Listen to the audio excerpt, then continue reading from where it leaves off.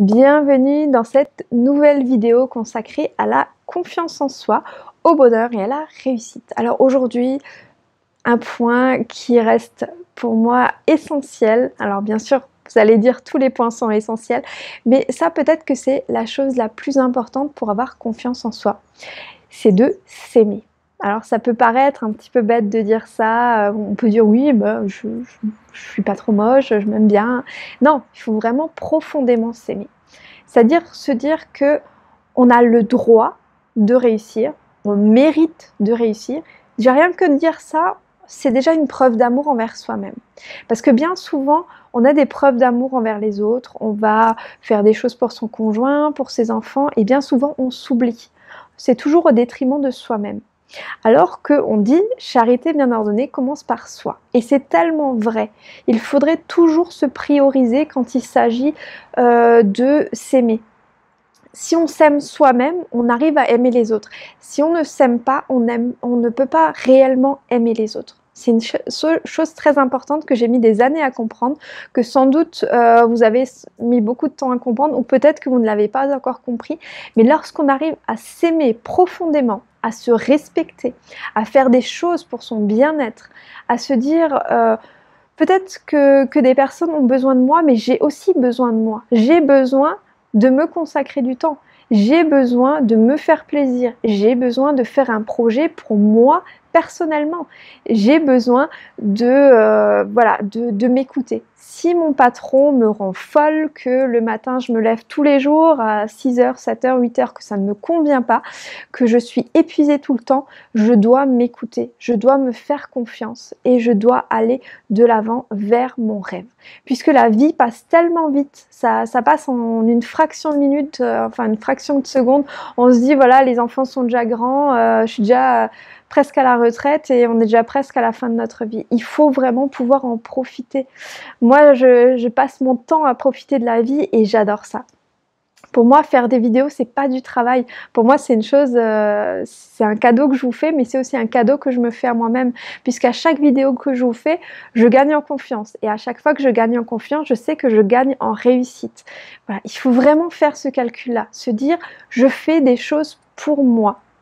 Je n'ai pas peur de m'aimer, je n'ai pas peur d'aller de l'avant vers un projet qui est personnel. Je n'ai pas besoin d'être là que pour les autres. Je suis là en premier pour moi. On est venu euh, au monde dans un corps, dans un seul corps. C'est pas pour rien. Il nous appartient. Notre âme, notre esprit, notre corps nous appartient. On décide de ce qu'on en fait. C'est comme les, les gens qui ont tendance à pas vouloir être vus, ils ont tendance à beaucoup manger pour justement qu'on qui, s'enveloppent un petit peu dans, cette enveloppe charnelle, un petit peu, euh, comment on va dire, voilà, ils s'enrobent un petit peu dans, dans cette enveloppe pour justement éviter le regard c'est se faire du mal, c'est ne pas s'aimer soi-même. À partir du moment où on le comprend, on se dit, voilà, je vais manger sainement, on aura beaucoup plus déjà envie d'aller vers des aliments sains, puisqu'on a envie de s'aimer, on a envie de se faire du bien. On ira euh, plus facilement faire du sport, on ira plus facilement faire des rencontres, euh, parce qu'on sera moins tourné vers... Euh, finalement vers cette peur qui nous empêche d'aller de l'avant.